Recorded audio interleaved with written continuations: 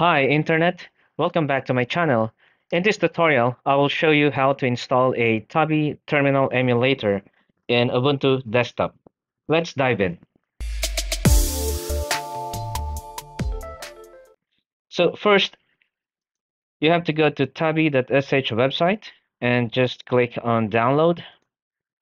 And it will redirect you to github.com where we will uh, download the package.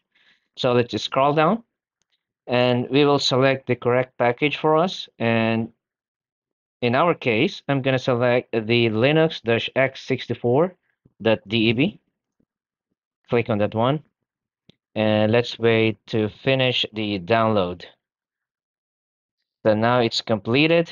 Let's go to the folder download folder. And I'm going to show you two way uh, two method on how you can install a package. So first just uh, first method is just right click the file and then choose open with other application and then select the software install. Let's wait for a few seconds. When you see this, just hit install, but I'm not gonna do that because I'm, I, I prefer using the second method, which is the D package. So let's close this one. And let's close this and go to the terminal.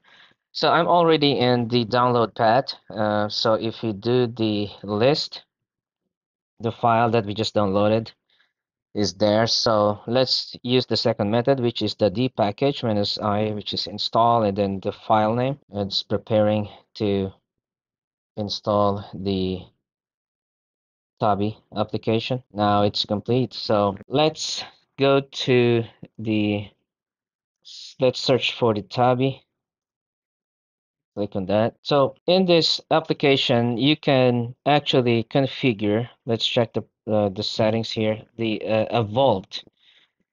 Um, let's do that. So let's configure the vault. Now let's encrypt the config file ask you the password. Now if you want to configure an SSH session um, just go to the profile and then click on new profile and then hold on.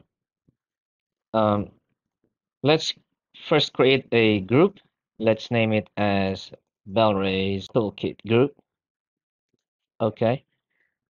It will ask you the vault. It's very secure. Now let's create a profile. So let's uh, just select the second one which is the SSH connection and it will ask the vault again. So let's, I'm gonna name this session as SRV1 that will raise the toolkit. And then for now I'm gonna use the IP address of that server which is the 83 and then the username it's not root but BelReyz toolkit.